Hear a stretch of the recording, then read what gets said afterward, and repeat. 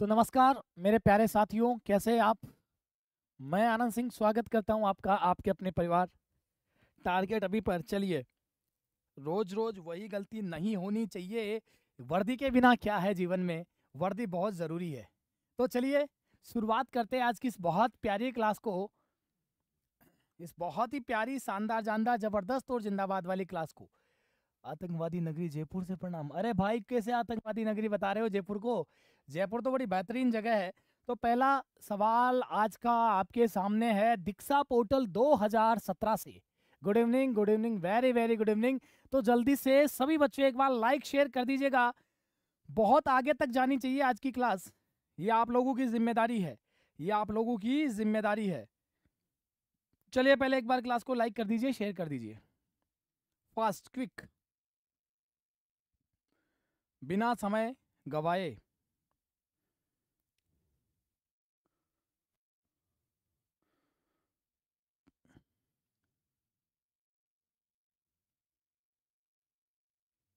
हम बात करेंगे दीक्षा पोर्टल एक्ट के बारे में बात कर रहे थे बेटा जी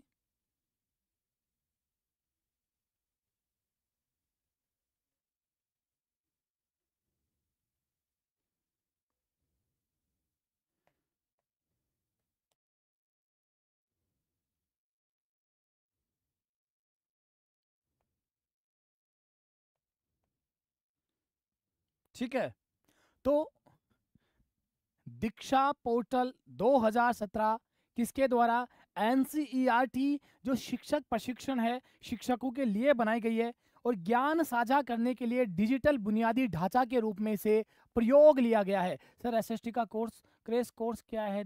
ठीक है, वही चल रहा है बेटा जी, वही चल रहा है, आप चिंता मत करिए एक बार।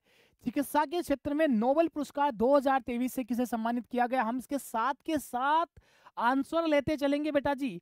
तो आपको पता होना चाहिए, चिकित्सा के क्षेत्र का जो नोबल पुरस्कार है, वो केटालिन, कारिका और डू विस्मैन को दिया गया है। इन दोनों के बारे में हमें बात करनी है। एसएसटी की क्लास भी चालू करो सर जी। एसएसटी की क्लास चल रही है बेटा जी, यही। अभी आप इसी पर फोकस करिए पूरा पूरा भौतिकी के क्षेत्र में नोबल पुरस्कार तेईस में तीन वैज्ञानिकों को दिया गया है। आज मैं मिसलेनियस क्वेश्चंस लेके आया हूँ। एक तो करंट जीके से रिलेटेड क्वेश्चंस और एक ऐसी जो ऐप चलाई गई है, जो ऐसी योजनाएँ चलाई गई है, उनसे संबंधित प्रश्नों के बारे में आज की क्लास में हम चर्चा करेंगे। आपकी ज़िम्मेदारी है इस कक्षा को आगे तक पहुँचाने की। चलिए बेटा जी, लाइक और शेयर कर दीजिए। वॉइस बहुत कम है। ठीक है, वॉइस बढ़ा दी जाएगी। तो भौतिकी के क्षेत्र में तीन लोगों को नोबेल पुरस्कार दिया गया है। पियरे अगस्टिन फेरेंस, क्रांस और एनी हुलियर को दिए जाने की घोषणा की गई है। यानी कि तीन लोगों को, बेटा जी, ये पुरस्कार मिला है। तीन लोगों अरे बेटा जी, अभी इस बारे में बात, बाद में बात करेंगे। मोहित यात्रा क्रमांक बाद में बात करेंगे। अगले मुद्दे प्राय क्या है ये? उनकी शिक्षा और शिक्षक कार्यक्रमों को सरल बनाने के लिए ऑनलाइन पोर्टल देखिए भैया, शिक्षा। शिक्षा और शिक्षक शिक्षा के कार्यक्रमों को सरल बनाने के लिए online portal NCET national counselling for teacher education launch किया गया है। चार साल का एकीकृत शिक्षक कार्यक्रम है। अगर आपसे पूछ ले, आपसे पूछ ले, मेरे प्यारे बच्चों, N national counselling for teacher education द्वारा लॉन्च किया गया कार्यक्रम कौन सा है? चार साल का। चलिए, बढ़ जाइए आगे। रसायन के क्षेत्र में नोबेल पुरस्कार 2023 में तीन वैज्ञानिकों को मिलना तय है। तो रसायन के क्षेत्र में कौन कौन है? मोंगी, वावेडी, ये फ्रांस के रहने वाले हैं। लुइस ब्रुश, ये अमेरिका के रहने वाले हैं। और बेटा जी, एलेक्सी एकीमो, ये रूस के रहने वाले हैं। इनको देने की घोषणा की गई है। मैं सारे प्रश्नों का मिसलेनियस निचोड़ निकालकर आप लोगों के बीच में लाया हूँ। बस आप एक बार जुड़े रहिए क्लास से और बड़े इतमान के साथ में आगे तक बढ़ाइए क्लास को, बेटा जी। चलिए। लाइक, शेयर में कमी नहीं आनी चाहिए। नेक्स्ट साहित्य के क्षेत्र में नोबल 2023 में किसे दिया जाने की घोषणा की गई है? बताओ भाई, साहित्य के क्षेत्र में। साहित्य के क्षेत्र का नोबल पुरस्कार जान फोस्से ये नार्वे के जो लेखक है, इन्हें दिया गया है अर्थशास्त्र के क्षेत्र में नोबेल पुरस्कार 2023 अमेरिका के बेटा जी, गोल्डिन को दिया जाने की घोषणा की गई है। फोर ईयर का बीएड आप लोगों ने किया, बहुत बढ़िया चीज़ है। और शांति के क्षेत्र में नोबल पुरस्कार 2023 तो नरगिस मोहम्मदी को दिया गया है। नरगिस मोहम्मदी बहुत महत्वपूर्ण है, ये ईरान की रहने वाली है। कहाँ की रहने वाली है? ईरान की। और बेटा जी, लगातार कई वर्षों से कहा है? ये जेल में जीवन व्यतीत कर रही है। किसमें जीवन व्यतीत कर रही है? जेल में बैठी हुई है। और वहाँ इनको किसके क्षेत्र में? शांति के क्षेत्र में नोबल पुरस्कार से इनको क्या किया गया है? सम्मानित किया गया है। बहुत बढ़िया बहुत बढ़िया बेटा। शानदार, जानदार, ज़बरदस्त और जिंदाबाद। चलिए आगे बढ़ते हैं। अपना चंद्रयान कार्यक्रम। बताओ भाई। हम्म। अपना चंद्रयान कार्यक्रम 17 अक्टूबर 2023 को लॉन्च किया गया है शिक्षा मंत्रालय द्वारा। किसके द्वारा? शिक्षा मंत्रालय के द्वारा। अपना चंद्रयान कार्यक्रम जोड़ा गया शिक्षा मंत्रालय के द्वारा और मिशन चंद्रयान। इसकी प्रश्नोत्तरी। मिशन चंद्रयान, इसकी प्रश्नोत्तरी। चलिए आगे बढ़ जाइए। काजीरंगा नेशनल पार्क की पहली महिला फ़ील्ड निदेशक के रूप में सोलानी घोष को चुना गया है। आपको पता होना चाहिए, काजीरंगा नेशनल पार्क, ये मेरे प्यारे बच्चों असम में है, कहाँ पर है? असम के अंदर है। और यहाँ पर एक सींग का गेंडा पाया जाता है, एक सींग का गेंडा। बताइए बेटा जी, इस एक सींग का गेंडा एकमात्र एकमात्र जानवर जिसका जिसका डीएनए फिंगरप्रिंट, प्रश्न बन सकता है, डीएनए फिंगरप्रिंट तैयार हुआ है। अगर आपसे पूछ ले, भारत में किस, कौन से जानवर का डीएनए फिंगरप्रिंट तैयार किया गया है? तो बेटा जी, एक सींग वाला जो गेंडा है, उसका डीएनए फिंगरप्रिंट तैयार किया गया है भारत में। इसे भी आप थोड़ा याद रखेंगे। चले आगे बढ़े। ठीक है? हाँ एक सींग का राइनो बिल्कुल सही कह रहे हो बेटा जी। नेक्स्ट 2023 में भारत की पहली यूनिकॉर्न कंपनी किसे बनाया गया है? तो जेपिटो कौन है बेटा जी? जेपिटो 2023 की भारत की पहली यूनिकॉर्न कंपनी चलिए आगे बढ़िए। ओके। थीम क्या है इस बार की? अंतरराष्ट्रीय शिक्षक दिवस की। बेटा जी, बताइए आप। थीम क्या है? अंतरराष्ट्रीय शिक्षा दिवस की थीम क्या है? लोगों में निवेश करे, शिक्षा को प्राथमिकता दे। लोगों में निवेश करे, शिक्षा को प्राथमिकता दे। और 24 जनवरी 2023 को पांचवा पांचवा थीम के लोग बेटा जी बाद में बात करेंगे, इनको नोबेल क्यों दिया गया है? यह भी विषय है, बाद में बात करेंगे। किस राज्य की सरकार ने पद्म पुरस्कार प्राप्त करने वाले व्यक्तियों को एक हज़ार रुपए मासिक पेंशन देने की घोषणा की है। कौन सी सरकार ने के लोगों ने, लोगों को जो नोबेल पुरस्कार विजेता है? हाँ जी। सॉरी, पद्म पुरस्कार के जो प्राप्त करने वाले लोग हैं, उनको कितना? एक हज़ार रुपए मासिक देने की क्या की गई है घोषणा? तो हरियाणा सरकार ने की है। अब आप मुझे बता दो, इस बार कुल पद्म पुरस्कार जीतने वाले लोगों की संख्या कितनी है? कुल पद्म पुरस्कार जीतने वाले लोगों की संख्या कितनी है? जल्दी से जवाब दे दीजिए। Very good evening Preeti, Monu, Rajalakshmi, Krishna, educational department, Sakshi, Bhavya, Bina, Preeti, Mohit, बहुत बढ़िया। बहुत शानदार, जानदार, ज़बरदस्त। Division cricketer of the year सम्मान जीतने वाली पहली भारतीय महिला खिलाड़ी कौन बनी है? बता दो भाई। कौन है? तो आपको पता होना चाहिए कौन है? हरमनप्रीत कौर। कौन सी कौर है? हरमनप्रीत कौर के द्वारा बेटा जी हरमनप्रीत कौर। जय हिंद भाई, जय हिंद। नेक्स्ट अज्ञात सऊ का डीएनए डेटाबेस बनाने वाला भारत का पहला राज्य कौन सा है? यानी कि ऐसे लावारिस सऊ। जिनका कोई मालिक नहीं है, उनका डीएनए डेटाबेस बनाने वाला कौन है? तो कौन है भाई? क्या जवाब रहेगा आप लोगों का? बहुत बढ़िया। शानदार, जानदार, ज़बरदस्त और जिंदाबाद। तो हिमाचल प्रदेश, बेटा जी, एक ऐसा राज्य है जिस जिसने क्या किया है? डीएनए डेटाबेस बनाया है अज्ञात समूह का। और फिर उनको डीएनए डेटाबेस तैयार करेगा। उसके आधार पर जिस किसी भी कम्युनिटी से वो बिलोंग करते हैं, उनका उसी तरीके से अंतिम संस्कार किया जाएगा। 300 बार पहुँचाने की ज़िम्मेदारी है, आज की क्लास में कमी नहीं रहनी चाहिए। मैं फिर कह रहा हूँ लाइक करने वाले बच्चे देख लो, अभी तक भी लाइक नहीं कर पाए हैं। हम्म? अभी तक भी लाइक नहीं कर पाए। तो जल्दी से अगले बिंदु पे आइए। राष्ट्रीय मूल्यांकन केंद्र। राष्ट्रीय मूल्यांकन केंद्र। राष्ट्रीय मूल्यांकन केंद्र शिक्षा नीति जो 2020 के तहत बेटा जी एक है परख। क्या है? परख। परख का याद रखना। परख। ये रहा परख। क्या है? समग्र विकास के लिए प्रदर्शन, मूल्यांकन, समीक्षा और ज्ञान का विश्लेषण। समग्र विकास के लिए मेरे प्यारे बच्चों, इस चीज़ को याद रख लेना। परख। परख का राष्ट्रीय शिक्षा नीति 2020 राष्ट्रीय मूल्यांकन केंद्र। तो मुद्दे की बात पे को आगे बढ़ाते हैं। मैंने शॉर्टकट करके लाने की पूरी पूरी कोशिश की है।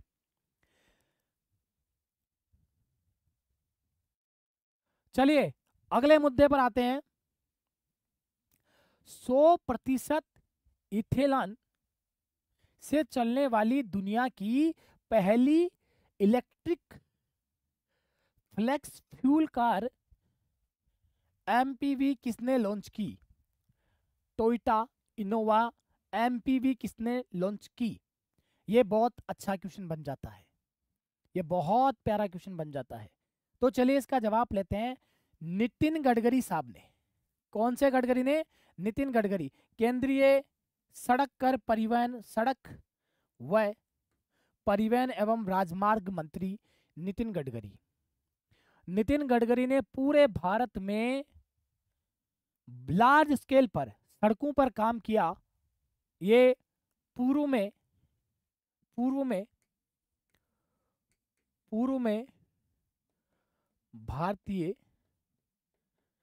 जनता पार्टी के राष्ट्रीय अध्यक्ष भी रह चुके हैं।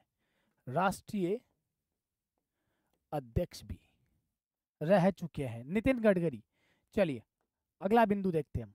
किस राज्य ने मैजिक राइस यानी कि चुकवा चावल को जीआई टैग दिया गया है? पहली बात तो सर ये जीआई टैग कितने वर्षों के लिए दिया जाता है? तो मेरे प्यारे बच्चों जीआई जो टैग है, ये दस वर्षों के लिए दिया जाता है। और ये जीआई टैग वर्ष उन्नीस में ईस्वी से आरंभ किया गया है। और आपसे पूछा है कि चोकवा चावल है, वो असम के है और इनको क्या दिया गया है? जीआई टैग दिया गया है। वॉइस स्लो है। अब बेटा जी वॉइस तो इससे ज़्यादा तो क्या रहेगी? फिर भी मैं बुलाता हूँ एक बार, अगर वॉइस में कुछ परिवर्तन हो पाए तो करवाता हूँ। दस ईयर के लिए दिया जाता है टैग चलो साहब, बढ़िए आगे। लो भाई, स्वयं एक योजना है, जिसके बारे में कल भी मैंने आपको थोड़ा बहुत बताया था। उसका उद्देश्य क्या है? व्यापक खुले ऑनलाइन शिक्षण पाठ्यक्रम। ठीक है? यानी कि आपका एम, ओ ओ, सी। अब ये बेटा जी, पहुँच। इक्विटी और गुणवत्ता। फिर आप बताइए, शिक्षा मंत्रालय? मेरे प्यारे बच्चों, ए, आई सी टी आई और एम एस के सहयोग से इसे आरंभ किया गया है। बेटा, तेरे सारे प्रश्नों को है ना एक काम कर, मोहित यात्रा कंपनी सारे प्रश्न मुझे कमेंट बॉक्स में छोड़ दे। मैं सारे प्रश्नों को निपटा लूँगा। जैसे ही मुझे समय मिलेगा, तेरे जितने भी प्रश्न है सबको निपटा लूँगा बेटा जी। पर अभी पहले पूरा फोकस रख जो पढ़ाया जा रहा है उस पर बाद में ध्यान दे लेना। ओके हाँ एकदम से सब ठीक है। अपने फैसलों को क्षेत्रीय भाषा, मलयालम में प्रकाशित करने वाला भारत का पहला हाई कोर्ट कौन सा है? लो साहब, अब धीरे धीरे जो समय बदल रहा है और लोग अपनी जो क्षेत्रीय भाषा है, अयोध्या वाले असम, अयोध्या वाले असम कैसे भाई? उस पर लोग ज़्यादा आ रहे हैं तो इसका सही जवाब है केरल हाई कोर्ट। तो केरल हाई कोर्ट ने ऐसा निर्णय लिया है। किसने निर्णय लिया है? केरल हाई कोर्ट के द्वारा यह निर्णय लिया गया है। चलिए नेक्स्ट भारत का पहला राष्ट्रीय मेट्रो रेल ज्ञान केंद्र कहाँ बनाया जाएगा? भारत का पहला, मैं एक एक एक एक बिंदु को इस तरीके से क्लियर करने की कोशिश कर रहा हूँ।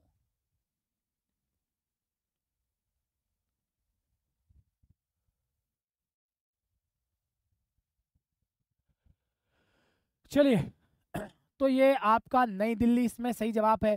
बेटा, आप लोगों के जो क्वेरीज है, जो क्वेश्चंस है, वो कमेंट बॉक्स में छोड़ के जाया करो। एक बात बताओ, जब चलती हुई क्लास में एक साथ न जाने कितने मैसेज निकलते हैं तो ऐसी स्थिति में अगर आप चाहोगे तो भी मैं आपको इन चीज़ों के जवाब नहीं दे पाऊँगा बेटा जी। तो मेरी बात को थोड़ा समझिए। चलिए आगे बढ़ जाते हैं यहाँ से हम। और एक ऑनलाइन शिक्षा का कार्यक्रम है, पहल इसके बारे में चर्चा करते हैं। ऑनलाइन शिक्षा कार्यक्रम पहल।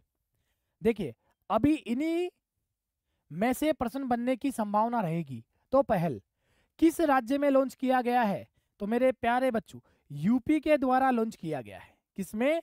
यूपी, उत्तर प्रदेश। यूपी, उत्तर प्रदेश।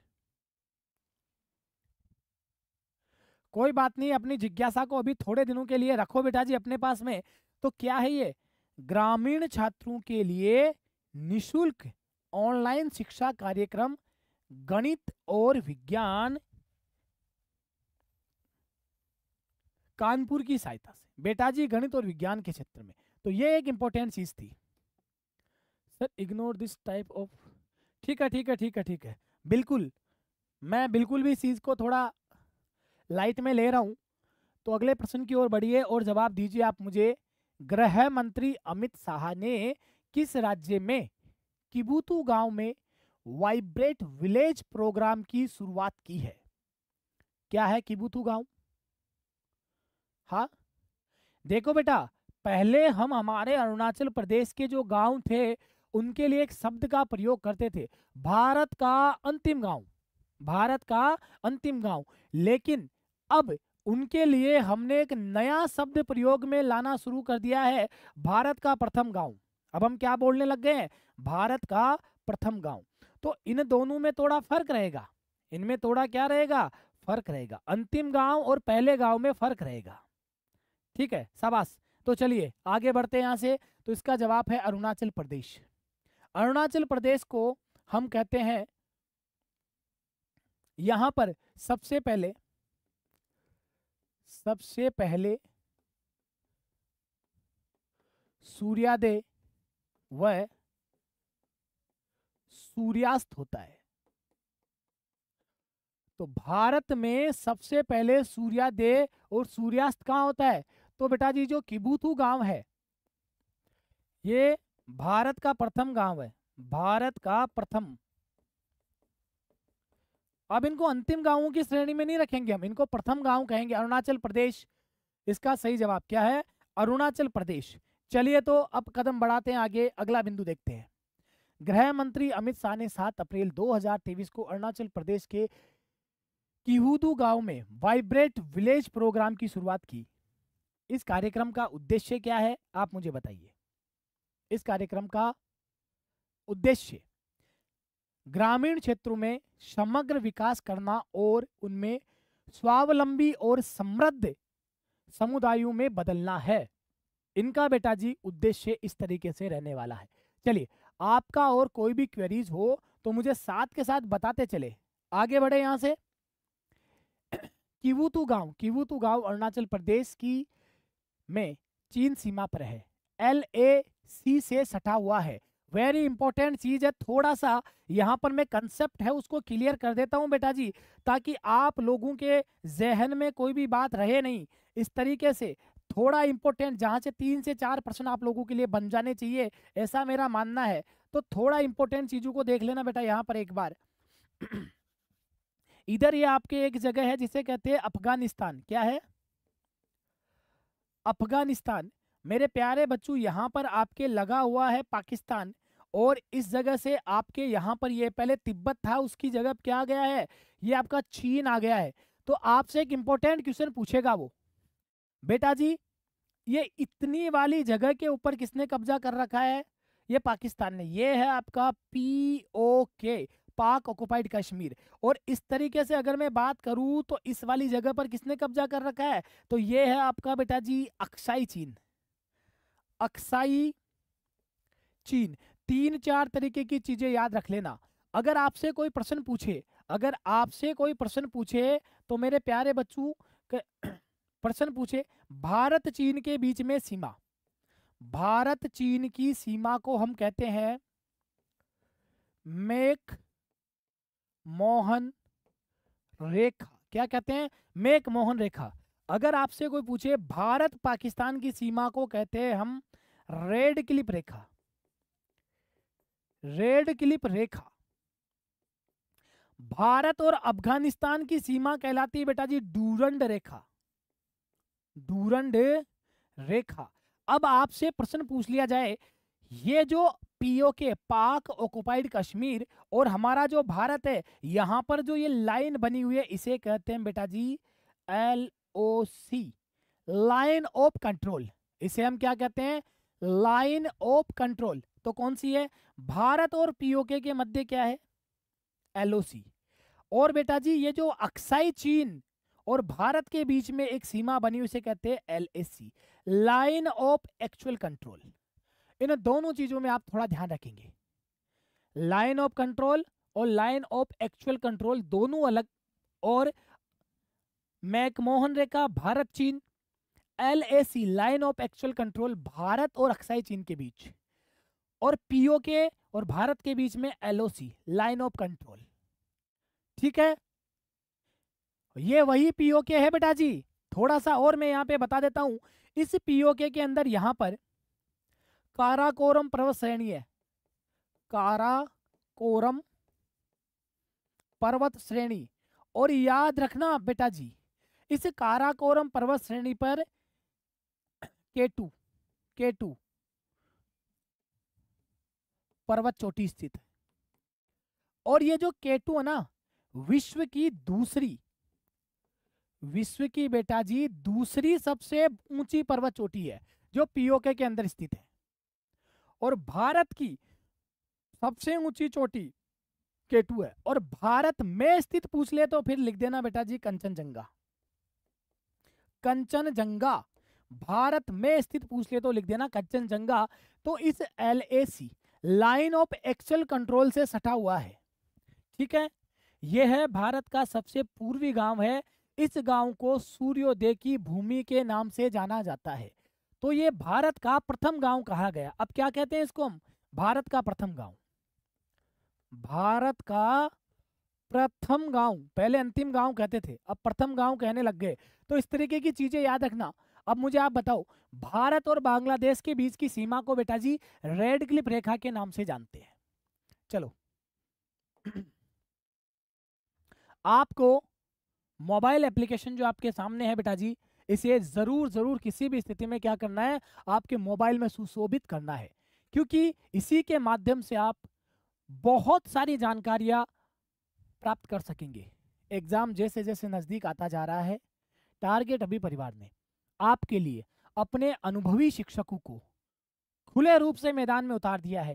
क्रैश कोर्स के तौर पर चीज़ें लेकर आ रहे हैं। आज कम से कम तीन चार तरीके के टॉपिकों को मिक्स करके मैं लेके आया हूँ। इसी तरीके से आगे, जितने भी शिक्षक अब क्लासेस लेंगे, वो अपना अपना हुनर इस बीस दिन में दिखाने के लिए लगे पड़े अब पाड़े में आपकी में गेंद है भाई।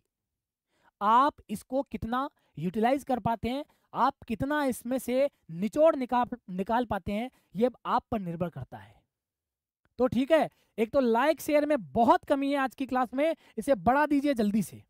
तो अखिल भारतीय शिक्षा समागम। पहली बात आपसे पूछेगा, अखिल भारतीय शिक्षा समागम का आयोजन कहाँ किया गया है? तो इस अखिल भारतीय शिक्षा समागम का आयोजन नई दिल्ली के अंदर किया गया और पीएम नरेंद्र मोदी के द्वारा, नरेंद्र मोदी के द्वारा। अगर आपसे पूछ ले, एनईपी की वर्ष 2020 की वर्ष वर्षगांठ पर तो एनईपी क्या है? एनईपी क्या है? राष्ट्रीय शिक्षा नीति तो थोड़ा देख लीजिए बेटा जी। राष्ट्रीय शिक्षा नीति। तो पहली राष्ट्रीय शिक्षा नीति कब बनाई गई? पहले आप बताइए प्रथम। फिर बताइए आप मुझे द्वितीय। और फिर बता दीजिए आप मुझे तीसरी। बताओ भाई, अब ये तीनों में कहीं बार आपको पढ़ा चुका हूँ, बहुत बार आपको पढ़ा चुका हूँ। बहुत बार इसके बारे में मैं जानकारी दे चुका हूँ। पीडीएफ बिल्कुल मिलेगी बेटा। पीडीएफ ज़रूर मिलेगी आपको। चिंता करने की बिल्कुल भी ज़रूरत नहीं है। तो प्रथम, द्वितीय और तृतीय राष्ट्रीय शिक्षा नीति कब आयोजित की गई? जल्दी से कमेंट बॉक्स में। अरे, कुछ तो कुछ सवालों के जवाब तो आप भी दोगे ना। शाबाश बेटा। प्रियंका जोशी, बहुत जल्दी जवाब दिया आपने। बहुत अच्छा बेटा जी। उन्नीस सौ अड़सठ, उन्नीस सौ छियासी और 2020 अब इनमें से प्रश्न पूछे जा सकते हैं। कितने वर्षों बाद में ये शिक्षा नीति लाई गई? इस तरीके के अलग अलग टाइप से आपके लिए प्रश्न बन जाएँगे। ठीक है? शाबाश बेटा, शाबाश। बहुत बढ़िया। शानदार। नीतू, बीना अर्पणा महाराज वीके तीनू साक्षी अवदेश निशा, के एम, ज्योति, महेंद्रा। बहुत बढ़िया। बहुत शानदार। मज़ा आ गया भाई क्लास का आज। चलिए तो आगे बढ़ जाते हैं। विश्व प्रेस स्वतंत्रता सूचकांक 2023 में भारत की रैंकिंग क्या है? बताओ भाई। और प्रेस की स्वतंत्रता? कौन से आर्टिकल में? आर्टिकल 19 ए के अंदर जब हम 19 में जाते हैं तो जाकर देखते हैं, आपको प्रेस की स्वतंत्रता दिखाई देती है। ठीक है? स्वतंत्रता के अधिकार में प्रेस की स्वतंत्रता यहाँ दिखाई देती है। तो बताइए आप। है ना? प्रेस फ्रीडम इंडेक्स 2023 में। चौंतीस ईयर बाद। हाँ वो बेटा जी, बिल्कुल सही है। चौतीस वर्षों के बाद में है। नेशनल एजुकेशन पॉलिसी बिल्कुल सही जवाब। तो प्रेस की स्वतंत्रता, अगर हम स्वतंत्रता के बारे में बात करें तो आर्टिकल 19 ए के अंदर हम यहाँ पे पाते हैं और हम कितने पिछड़े हुए हैं? एक नंबर पे। और टॉप पर कौन है? नॉर्वे। क्या स्थिति रही होगी? अब आप मुझे बता दीजिए, क्या हम इस चीज़ पे विश्वास कर सकते हैं कि अब हम स्वतंत्र रूप से सारा का सारा मामला सही देते हैं। चले? हाँ बिल्कुल। और इस नार्वे को, बिल्कुल लिखाता हूँ बेटा जी इस नार्वे को कहा जाता है, मध्यम रात्रि में सूर्योदय का देश। मध्यम रात्रि में सूर्योदय का देश। इस नार्वे को कहा जाता है। मध्यम रात्रि में सूर्योदय के देश के नाम से नारियो जानी जाती है। नेक्स्ट पे आ जाओ। वर्ल्ड हैप्पीनेस इंडेक्स 2023 में अनुसार दुनिया का सबसे खुशहाल देश कौन सा है?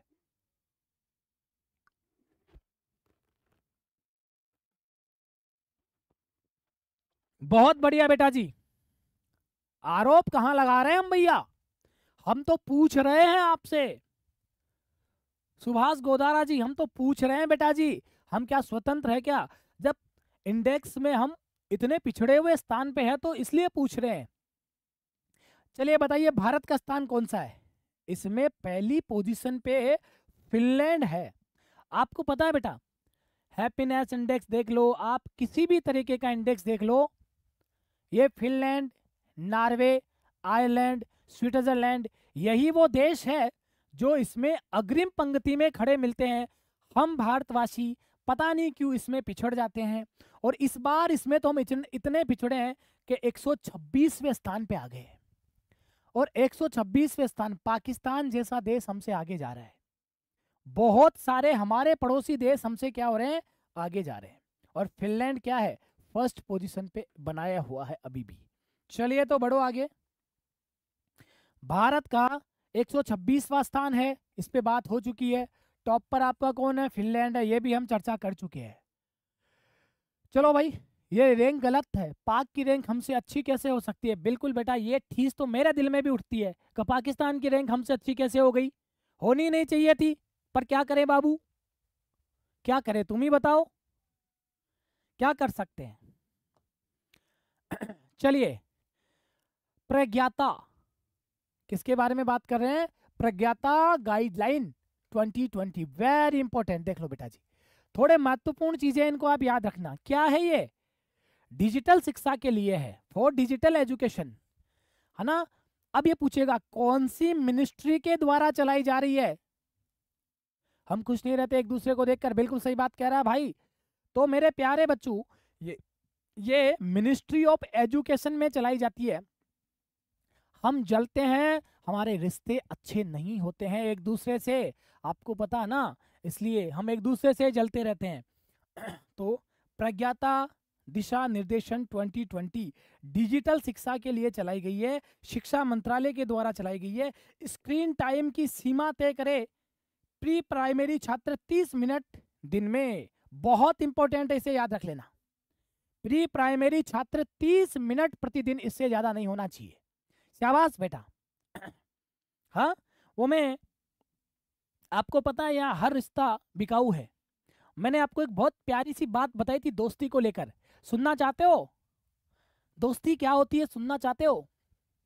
अगर सुनना चाहते हो तो यस में जवाब लिखकर भेजना, इसके बाद फिर ज़रूर सुनाऊँगा आज बहुत प्यारी एक चीज़। किस भारतीय नेता को वर्ष 2023 में फिजी का सर्वोच्च सम्मान, companion of the order of Fiji मिला है। मैं ठीक हूँ, मनीष कुमार जी। तो मुद्दे की बात पे आए तो यहाँ मुद्दा क्या कहता है? फिजी का सर्वोच्च सम्मान, फिजी का सर्वोच्च सम्मान हमारे माननीय नरेंद्र मोदी पीएम साहब को मिला है। अगर पीएम साहब अगले कुछ वर्ष और रह गए तो याद रखना भाई। एक अलग से किताब आएगी, नरेंद्र मोदी के सम्मानों की किताब। हर जगह पर। अच्छा तो सुनिए बेटा जी, मेरे दृष्टिकोण से दोस्ती क्या होती है? मैंने दोस्ती के लिए चंद चार लाइनें लिखी है।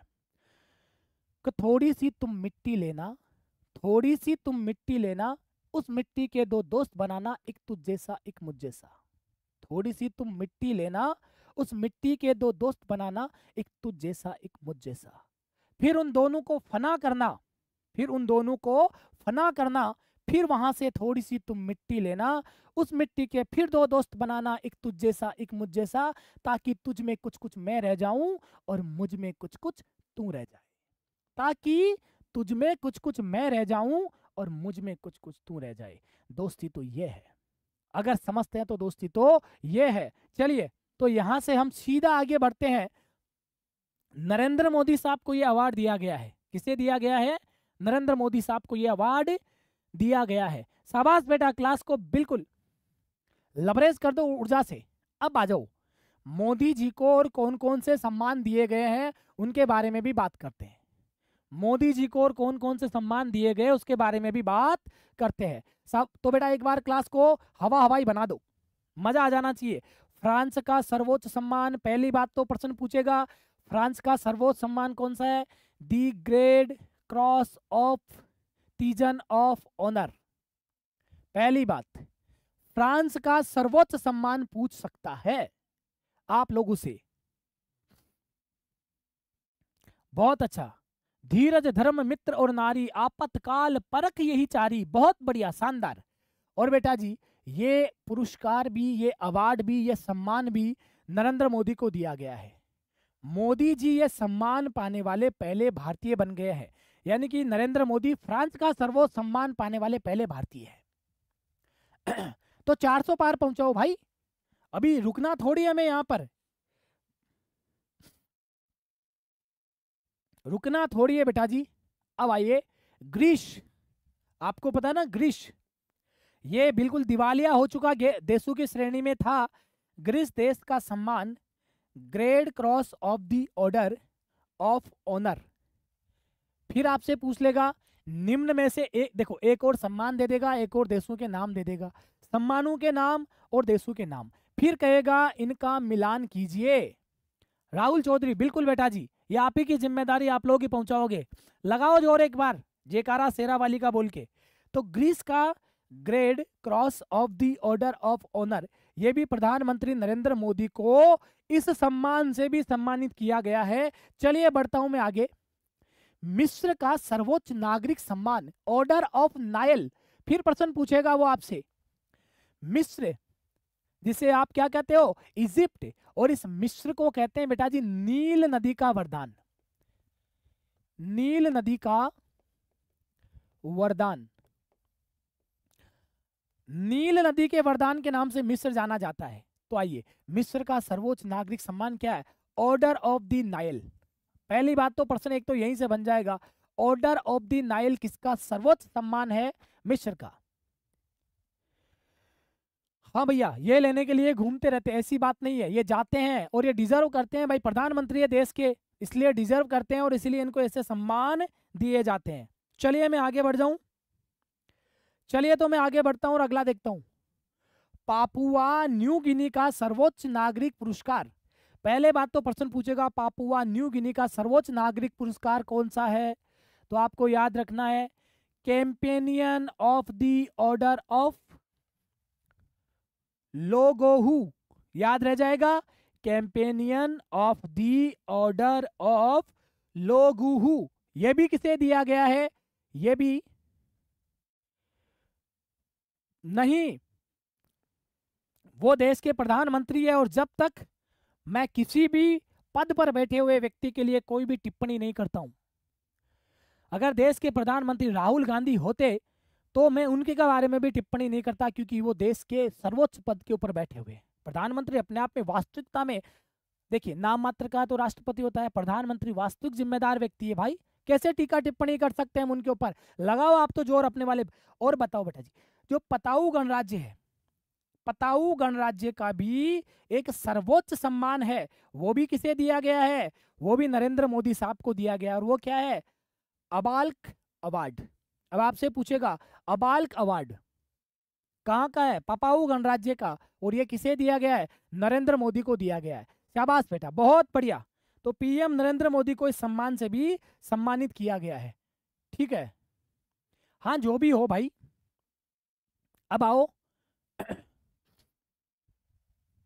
शिक्षा पर आधारित करंट अफेयर के बारे में बात कर लेते हैं। कक्षा तीन से बारह के पाठ्यक्रम को संशोधित करने के लिए गणित 19 सदस्यीय अध्यक्ष, एन एनसीईआरटी पाठ्यक्रम, राष्ट्रीय पाठ्यक्रम और शिक्षण अधिगम सामग्री समिति मेक पंथ के नेतृत्व में। ठीक है? मेरे प्यारे बच्चों इसे आप इसी तरीके से याद करेंगे। मैंने शॉर्टकट तरीके से पूरी की पूरी चीज़ें यहाँ पे बता दी है। शॉर्टकट तरीके से पूरा। तो कक्षा तीन से बारह के पाठ्यक्रम को संशोधित करने के लिए, ठीक है? उन्नीस सदस्य, अध्यक्ष एनसीईआरटी पाठ्यक्रम, राष्ट्रीय पाठ्यक्रम और शिक्षण सामग्री समिति, है ना? मेक पंथ की अध्यक्षता में यह कार्य किया गया। चलू आगे बढ़ू। बता दो बेहतरवीं मिस यूनिवर्स प्रतियोगिता का खिताब किसने जीता? 2023 बहुत प्यारा सवाल है। बहुत शानदार, जानदार, ज़बरदस्त और जिंदाबाद। आज मोदी जी दुबई गए हैं। जाने दीजिए भाई। उनको छोड़िए। उनको जाने दीजिए। हम यही है, हम पढ़ा रहे हैं, आप पढ़ते रहिए।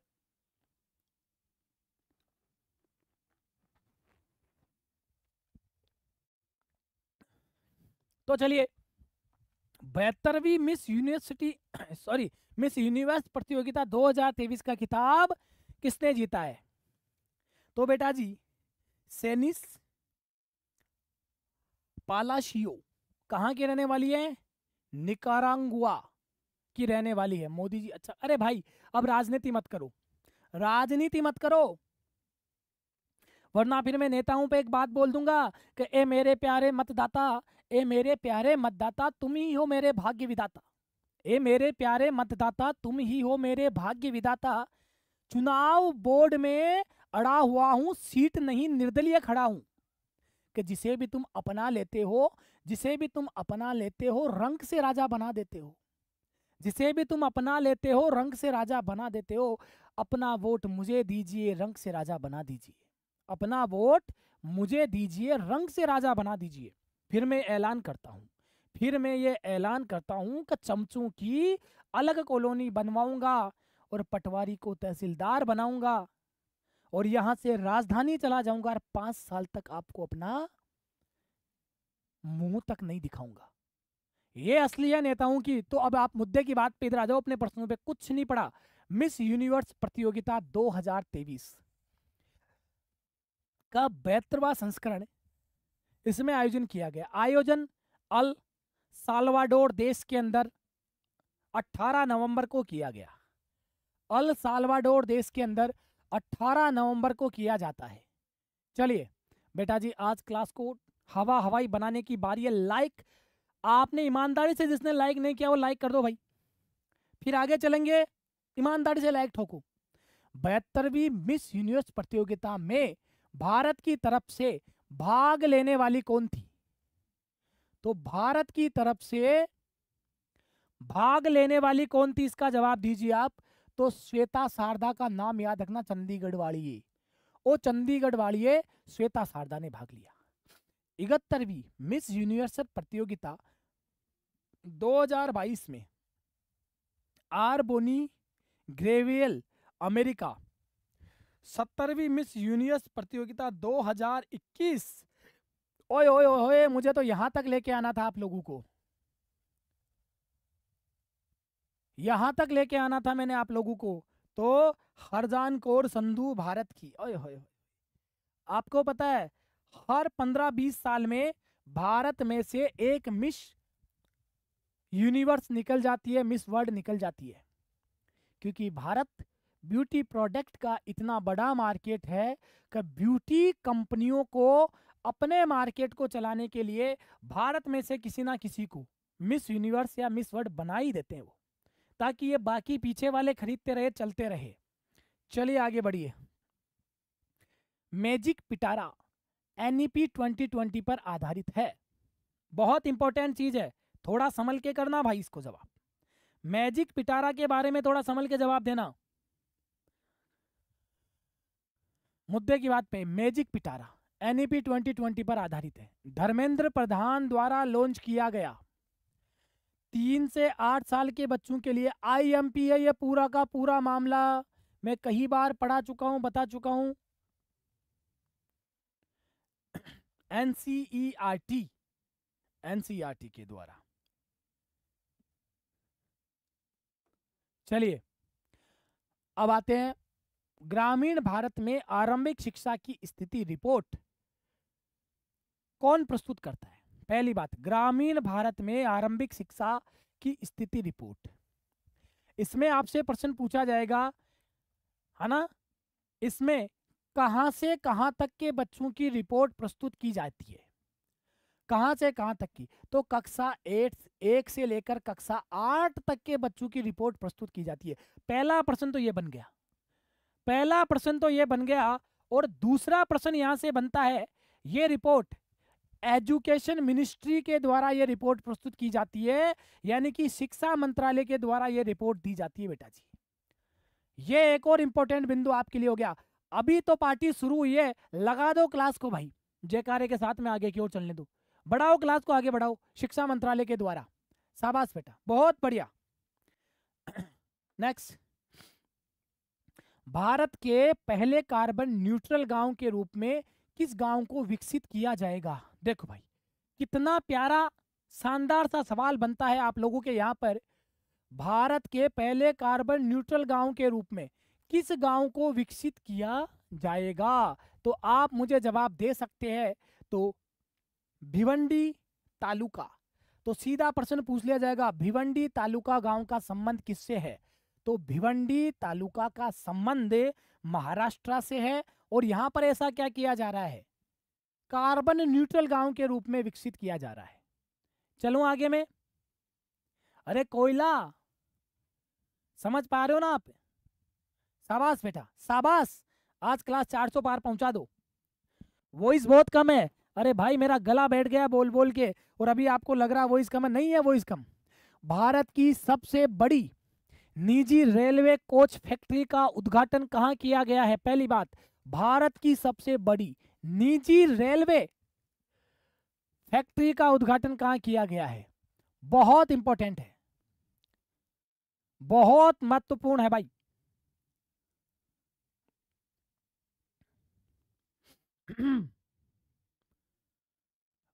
तो क्या है? कोडकल, तेलंगाना। कोडकल तेलंगाना। जल्दी से बता दो भाई, तेलंगाना की राजधानी कौन सी है? राजधानी कौन सी है तेलंगाना की? जल्दी जवाब दे दीजिएगा। बिना समय खपाए और हैदराबाद से अलग हुआ है तो हैदराबाद की नई राजधानी का नाम बता दो भाई। हैदराबाद की नई राजधानी और तेलंगाना की राजधानी का नाम जल्दी बताओ, फास्ट। बिना समय खपाए। इतना समय नहीं लगना चाहिए।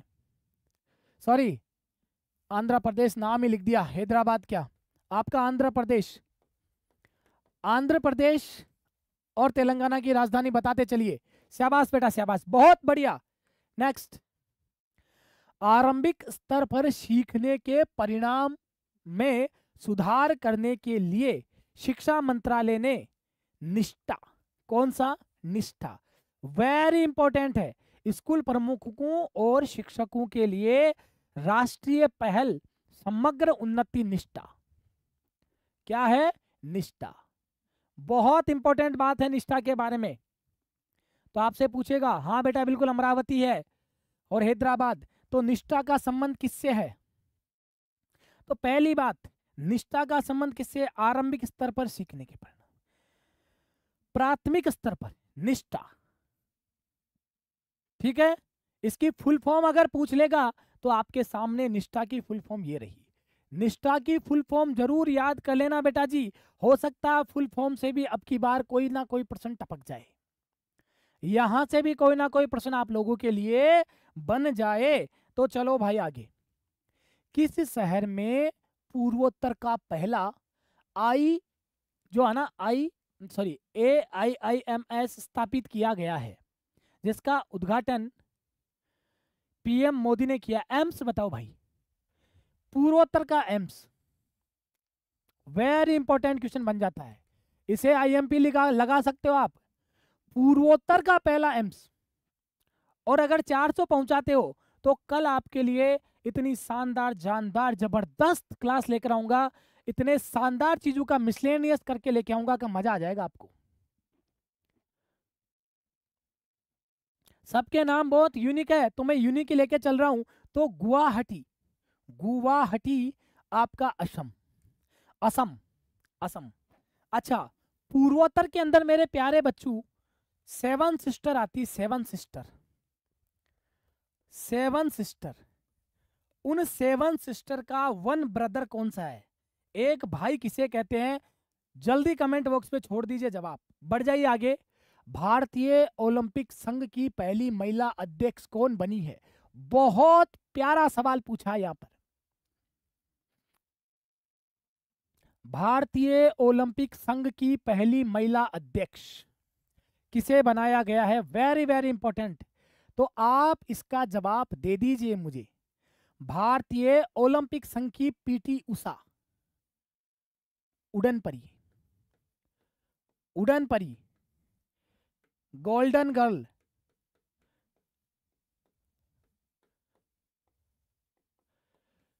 PT Usha athletic PT Usha याद रख लेना। नेक्स्ट, पीटी उषा का संबंध भारत के केरल राज्य से है। कहाँ की रहने वाली है? भारत के केरल से संबंधित है पीटी उषा इनका प्योतित एक्सप्रेस उपनाम से भी जाना जाता है। पीटी उषा उड़न परी बिल्कुल उड़न परी है बेटा जी ये। बहुत जोरदार महिला है। कोई बात नहीं है। मेरे प्यारे बच्चे, ये जो बीच में जितनी परियोजनाएँ करवा रहा हूँ, ये एजुकेशन से संबंधित ही तो करवा रहा हूँ। इनका संबंध किससे है फिर आप बता दो मुझे। साढ़े तीन सौ प्लस लाइव चल रहे हो, लाइक देख लो। रखो रे कागजे पर हाथ अगर आपको लगता है कि लाइक करना चाहिए तो कर दो और लाइक एक बार। समय हो चुका है, मेरे पास सात आठ मिनट का टाइम और है तो जल्दी कर दीजिए। तो सितारे परियोजना सितारे परियोजना, भारत सरकार एवं विश्व बैंक शिक्षा और शिक्षा मंत्रालय द्वारा छह राज्यों में लॉन्च किया गया है। कहाँ कहाँ किया गया है? एचपी, हिमाचल प्रदेश, राजस्थान, महाराष्ट्र, मध्य प्रदेश, केरला। यहाँ पर बेटा जी और उड़ीसा। तो इन सभी जगहों पर क्या कौन सा सितारे परियोजना आरंभ की गई है? स्टार, शिक्षण को सुदृढ़ बनाने के लिए, ले भाई, शिक्षण को सुदृढ़ बनाने के लिए, राज्यों के लिए एनईपी 2020 और परिणाम सिखाना इसके लिए। सारे के सारे मिक्सलेनियस क्वेश्चंस लेके आ रहा हूँ, बेटा जी, क्या चाहिए आपको? ब्रिक्स शिखर सम्मेलन 2023 की मेजबानी किस देश ने की थी? ब्रिक्स, फिर बात करेंगे इसके बारे में। शिखर सम्मेलन की मेजबानी 2023 में करने वाला देश कौन सा है? कौन सा है? बताओ भाई, कौन सा है? तो sir, South Africa is right answer. Next, BRICS.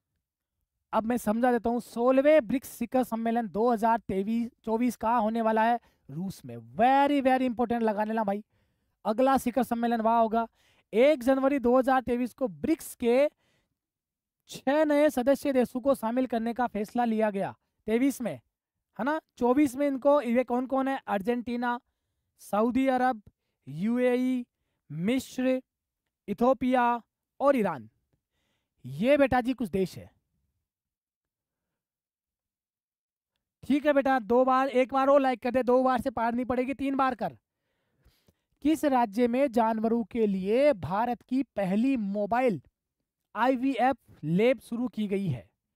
बहुत प्यारा है, बहुत अच्छा क्वेश्चन है। जानवरों के लिए कहाँ शुरू किया गया है? हम्म। Gujarat vibrate Gujarat. Nipun Bharat mission. Nipun Bharat mission. आ जाओ भाई निपुल भारत मिशन में। एनईपी 2020 आधारित कक्षा तीन तक।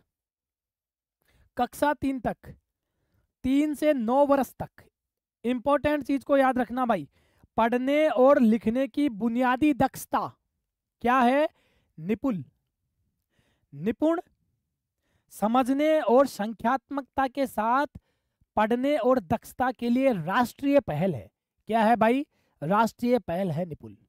इसे भी याद रखना। बढ़ो आगे। संयुक्त राष्ट्र विश्व पर्यटन संगठन ने किस भारतीय गाँव को दुनिया का सर्वश्रेष्ठ पर्यटन गाँव घोषित किया है? कौन से भारतीय गाँव को दुनिया का सर्वश्रेष्ठ पर्यटन गाँव घोषित कर दिया? तो क्या जवाब दोगे बेटा जी?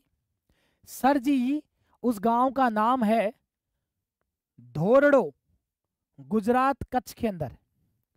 धोरडो, गुजरात कच्छ का वो गाँव है। इसे भी आप याद रखेंगे। शाबाश बेटा। निपुण हाँ बेटा जी।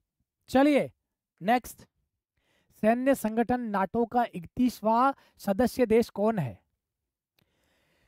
सैन्य संगठन नाटो का इकतीसवा सदस्य देश कौन सा है? नाटो का इकतीसवा। हम बेटा जी पहुँच चुके हैं पौने चार सौ पार।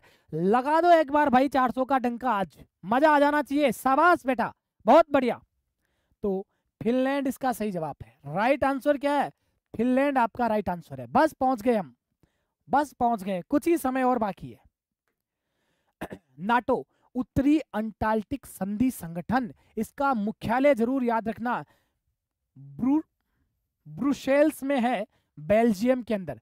बेल्जियम ब्रुसेल के अंदर इसका मुख्यालय स्थित है। बहुत प्यारा, शानदार। फिनलैंड इसका नया सदस्य बन गया। आगे आ जाइए। नेशनल कैरिकोरम फ्रेमवर्क, राष्ट्रीय फ्रेम मतलब काम करता है। अब देख लेते हैं अभी हम। तो एनसीएफ 2022 के आधार पर। शिक्षा मंत्रालय और डी प्रदिनन इससे संबंधित एनईपी 2020 पर आधारित है। एनसीएफ 25 की थीम, विद्यालय शिक्षा, शिक्षक की और प्रौढ़ शिक्षा। विद्यालय शिक्षा, शिक्षक की शिक्षा और प्रौढ़ शिक्षा। इसे आप याद रखेंगे। बहुत इंपॉर्टेंट है। वेरी वेरी इंपॉर्टेंट बहुत महत्वपूर्ण बातों पे चर्चा कर रहे हैं। बढ़ाओ बेटा, आगे बढ़ाओ क्लास को एक बार लास्ट अंतर्राष्ट्रीय ग्रीन एप्पल अवार्ड 2023 जीतने वाले भारत का पहला राज्य कौन सा बन गया? इतने प्रश्न करवा दिए, आप सोच भी नहीं सकते हो भाई। अंतर्राष्ट्रीय ग्रीन एप्पल अवार्ड 400 के लगभग लाइव पहुँच गए आपके लाइक की संख्या देख लो भाई। जीतने वाला पहला भारत का राज्य कौन बन गया है? तेलंगाना इज़ राइट आंसर तो सही जवाब क्या है आपका? तेलंगाना आपका सही जवाब है। तेलंगाना, बहुत बढ़िया।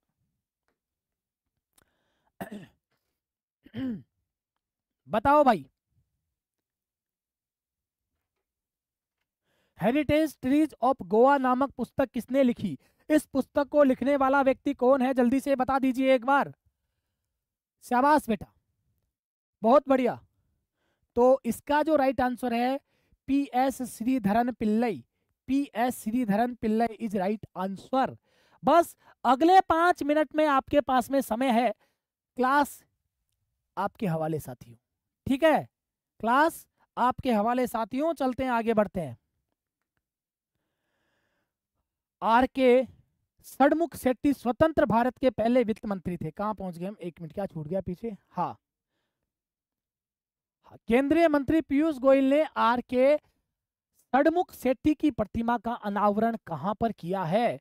तो आपको इसका मालूमात होना चाहिए। एक छक्के की ज़रूरत है हमें। छह रन लगा दीजिए बेटा जी तो कोयम्बटूर तमिलनाडु इसका सही जवाब है और इस कोयम्बटूर को कहते हैं दक्षिणी भारत का मैनचेस्टर। दक्षिणी भारत का भारत का बेटा जी मैनचेस्टर। मैनचेस्टर। तो दक्षिणी भारत का मैनचेस्टर किसे कहते हैं? कोयम्बटूर को कहते हैं और आर के सणमुख शेट्टी की पर, जो इस प्रतिमा का आवरण किया गया है। बलदेव चाहर। जय श्री तेजाजी महाराज की लाडेश्वर आर के सणमुख शेट्टी स्वतंत्र भारत के पहले वित्त मंत्री थे। इस बिंदु को भी याद रखना। चले बढ़ते हैं आगे। किस राज्य में अंबेडकर साहब की भारत की सबसे ऊँची प्रतिमा स्थापित की गई है? कौन से राज्य में? शाबाश बेटा, बहुत बढ़िया। बी आर अंबेडकर साहब की बहुत ऊँची प्रतिमा कौन से राज्य में स्थापित की गई है? जल्दी से आप लोगों का जवाब आ जाना चाहिए। तो सर, ये तेलंगाना राज्य के अंदर डॉक्टर बी आर अंबेडकर की सबसे ऊँची प्रतिमा लगाई गई है। हाँ जी। चलिए बढ़ जाइए आगे। अगला क्या कार्यक्रम है? आरंभिक शिक्षा का सार्वभौमिकरण। बहुत इंपॉर्टेंट है। कि कौन सी शिक्षा की बात कर रहा है? आरंभिक शिक्षा, यानी कि आपकी आरंभ, सार्वभौमिकरण करना है उसका। सर्व शिक्षा अभियान 2001 सर्व शिक्षा अभियान 2001 वेरी इंपॉर्टेंट बहुत महत्वपूर्ण। अब छ से लेकर चौदह वर्ष। छ से लेकर चौदह वर्ष की आयु के बच्चों के लिए है। छ से लेकर चौदह वर्ष के आयु के बच्चों के लिए है। चलिए अब क्लास को विराम देने का समय आने वाला है, बस कुछ और हम पेज देख लेते हैं। चुनाव आयोग का नया नेशनल आइकॉन किसे बनाया गया? बहुत प्यारा इंपॉर्टेंट इस बार आ सकता है। नया नेशनल आइकॉन किसे बनाया गया है? एक बहुत अच्छे लेवल का एक कलाकार है। उनका नाम आपने सुना होगा, नाम है राजकुमार राव। इन्होंने बहुत अच्छी अच्छी सामाजिक मैसेज देने वाली मूवीज़ बनाई है और इनका नाम आप जानते हैं। तो राजकुमार राव आपका सही जवाब रहने वाला है। चलिए, किस एक्टर्स को दादा साहब फाल्के अवार्ड 2023 के लिए चुना गया है? बहुत खूबसूरत महिला है ये। इस उम्र में बहुत खूबसूरत दिखती है। पहली बात तो बताओ, दादा साहब फाल के पुरस्कार किसे दिया जाता है? जो लगभग 40-50 साल तक सनीमा जगत में जो अपनी योगदान देता है, पहचान बनाता है, उसको मैं ठीक हूँ बेटा गीता, एकदम से बढ़िया हूँ। उसे ये अवार्ड दिया जाता है और वहीदा रहमान इसका राइट आंसर है। चलिए अगला देखते हैं। ई विद्या कार्यक्रम के बारे में बात करते हैं। ई विद्या कार्यक्रम। ई विद्या कार्यक्रम डिजिटल शिक्षा के लिए एक क्लास, एक टीवी चैनल इसका आंसर है। आज की इस क्लास को मैं बेटा जी यहीं पर विराम देता हूँ।